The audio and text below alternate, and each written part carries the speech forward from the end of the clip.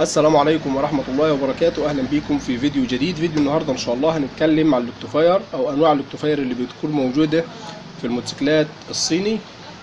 تمام؟ هنعرف كل نوع بيتوصل إزاي وبيشتغل إزاي عشان نقدر نفرق بين الدايرة اللي بتكون شغالة أو الاكتوفاير اللي بيكون شغال على البطارية والاكتوفاير اللي بيكون شغال على ملف الكهرباء. عندنا الاكتوفايرات في الموتوسيكلات الصيني عامة بتكون عبارة عن نوعين. النوعين دول من حيث دايرة التشغيل. نوع منهم بيكون معتمد في تشغيله على ملف الشحن وده اللي بيكون موجود في الموتوسيكلات الصيني العادية زي الداين والحلاوة والحاجات العادية واللي بيكون زي ده كده اتنين فيشة. تمام؟ طبعا بيكون في منه حجم كبير وفي منه 150 حجم صغير مع اختلاف الأشكال ولكن التوصيلة أو توصيلة الأسلاك بتكون موحدة في الاثنين ودي سبق وشرحناها في دورة تعلم كهرباء الموتوسيكلات في فيديو شرح دايرة تشغيل البوجيه أو دايرة تشغيل الموتور. طيب ده بالنسبة للنوع الأول اللي بيكون في أغلب الموتوسيكلات الصيني زي الداين والحلاوة. طيب بالنسبة للنوع الثاني بيكون نوع تاني شغال على كهرباء البطارية وده بيكون متواجد معانا في الموتوسيكلات الداين 6 برضه بيكون عبارة عن اتنين فيشة بالشكل ده هو أو بالشكل ده هو. يعني الاكتوفيرين اللي معانا دول ده هو وده دول اكتوفيرين دايون 6 مع اختلاف الشكل طبعا ولكن طريقة التوصيل واحدة. الاكتوفاير بتاع الدايون 6 ما بيعتمدش على الملف في تشغيله بيعتمد على البطارية. يعني بياخد كهرباء ثابتة من البطارية عشان يقوم بعمله. أما الاكتوفاير بتاع الصين العادي فبياخد كهربته من ملف الشحن من مخدة التشغيل اللي بتكون في الملف عشان يقوم برضه بعمله. طريقة توصيل الاكتوفاير بتاع الدايون 6 هي هي نفس طريقة توصيل الاكتوفاير بتاع الموتوسيكلات الصين العادية ولكن بتختلف معانا حاجة واحدة ألا وهي السلكة الكهرباء. تمام؟ السلكة اللي بتغذي إلكتروني كهرباء. في الموتوسيكلات الصين العادية بتكون السلكة دي راكبة تحت جاية من ملف الكهرباء بيكون لونها أسود بخط أحمر. أما هنا عندنا في الدايون 6 لا السلكة دي بتكون جاية من البطارية من قدام قدام أو من الضفيرة. بتكون سلكة لونها أسود بخط أبيض. نفس السلكة اللي بتكون في البطال بتاع الاكتوفاير الصيني بتكون هنا موجودة في الداين 6 ولكن دي مش بطال لا دي بتجيب كهرباء من البطال نفسه. تمام؟ أما باقي التوصيلة فالتوصيلة بتكون وحدة بنلغي منه الطرف اللي فوق لأن طبعا البطال بيشتغل عن طريق فصل الكهرباء عن الضفيرة فبنحتاجش غير بس الطرف اللي تحت بنجيب له سلكة من الضفيرة. تمام؟ عشان خاطر الالكتروني ده يشتغل. أما توصيل باقي الأسلاك اللي بتكون موجودة معانا فهي هي نفس توصيلة الأسلاك اللي بتكون موجودة في الأكتوفاير بتاع الموتوسيكل الصيني العادي. تمام؟ يبقى طريقة التوصيل واحدة ما بتختلفش معانا غير السلكة اللي جاية من الملف. في الأكتوفاير الداين 6 بنستبدلها بسلكة جاية من الضفيره عشان الأكتوفاير ده هو يشتغل ويقوم بعمله. ما ينفعش أبدل الاكتوفاير ده مكان الاكتوفاير ده هو تلقائي كده عشوائي لازم أعدل التوصيلة. يعني ما ينفعش أركب الصيني على الدايون 6 ولا الدايون 6 على الصيني غير لما أنا أعدل التوصيلة وأعدل نظام التشغيل. اكتوفاير الدايون 6 لو أنا ركبته على نفس توصيلة الموتوسيكل الصيني بمجرد ما أشغل المكنة هلاقي الاكتوفاير ده فرقع وما اشتغلش معايا. كذلك الأمر في اكتوفاير الصيني لو ركبته على الدايون 6 بمجرد ان أنا افتح الكونتاك وتوصل كهرباء. للاكتوفاير هلاقي الاكتوفاير ده حصل فيه انفجار أو فرقعة واتحرق بالكامل.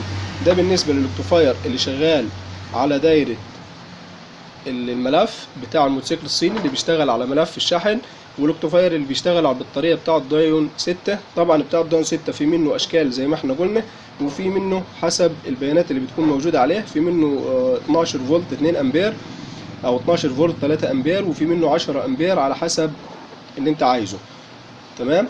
طبعا بتختلف الأمبير الأمبير بيختلف في الإلكتروني من حيث قدرة الكهرباء. يعني الاكتوفاير اللي بيكون 3 أمبير بيشتغل على أقل كهرباء موجودة معاك في البطارية بل ممكن تخلع البطارية ويشتغل على الكهرباء اللي خارجة من الملف. أما لو الاكتوفاير 10 أمبير تمام؟ فده بالتالي بيحتاج لكهرباء قوية من البطارية ولو البطارية معاك ضعيفة هيعمل معاك مشكلة في المكنة.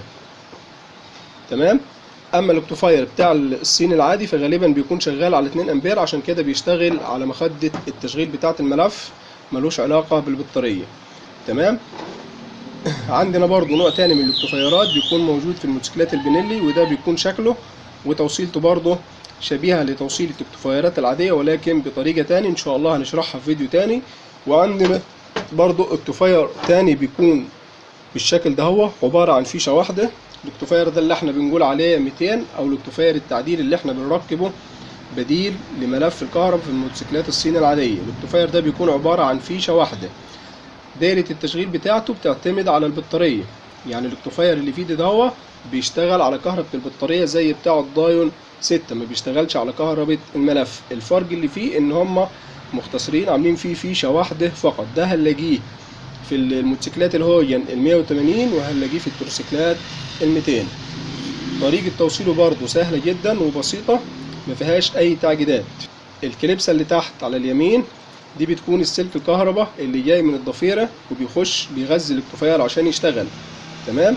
الكليبس اللي فوق منها على طول دي بتكون السلكة اللي رايحة للموبينة الكليبسة اللي جنبيها من فوق دي بتكون السلك الأزرق بخط أبيض اللي جاي من النابض. الكليبسة اللي تحت منها دي بتكون أرضي جاي من الضفيرة. هتقول لي هنا في سلكة من سلوك النابض اللي هي الأخضر بخط أخضر. الأخضر بخط أبيض مش مش موجودة. هقول لك السلكة دي بتتلغي بتكون ملغية في الاكتوفاير ده هو وما بنحتاجش من النابض غير السلكة اللي هي أزرق بخط أبيض. دي بتكون راجعة من النابض. أما السلكة الأخضر بخط أبيض دي بتكون داخلة واخد أرضي من الاكتوفاير ومدخلاه للنابض والنابض مرجعه لي في الأزرق. فبالتالي النابض أصلا بيكون مربوط في جسم الموتور فبالتالي واصل له أرضي. فإحنا ما بنحتاجش منه غير السلكة الزرقاء بخط أبيض فقط لا غير. دي طريقة توصيل الاكتوفاير ال 200 التعديل اللي بنعدله بديل عن الملف في الموتوسيكلات الصيني. يعني لو أنا حابب ألغي الملف وأشغل الملف شاحن بس بجيب الاكتوفاير ده وبركبه على المكنة بيشتغل معايا على كهرباء البطارية. برضو ممكن أعدل الاكتوفاير وأركب اكتوفاير دايون 6 على موتوسيكل صيني عادي. تمام؟ هيشتغل برضو معايا ويأدي نفس الأداء وكده أنا هلغي الملف هستعمل الملف للشحن فقط لا غير. دي كانت أنواع الاكتوفاير في الموتوسيكلات الصيني وطريقة توصيل كل اكتوفاير منهم. في الفيديو القادم إن شاء الله هنتكلم عن مميزات وعيوب الاكتوفاير التعديل اللي إحنا بنركبه على الموتوسيكلات الصيني. بديل للملف وهقول لك على أفضل نوع اكتوفاير ممكن تركبه ويدي معاك أداء مظبوط. لو أنت حابب تعمل الموضوع ده هو وتلغي الملف وتركب اكتوفاير يكون شغال على الكهرباء زي بتاع الدايون 6 ده كان فيديو النهارده يا رب يكون عجبكم واستفدتوا منه وقدرت أقدم لكم المعلومة بشكل صحيح وقدرت أفيدكم. والسلام عليكم ورحمة الله وبركاته.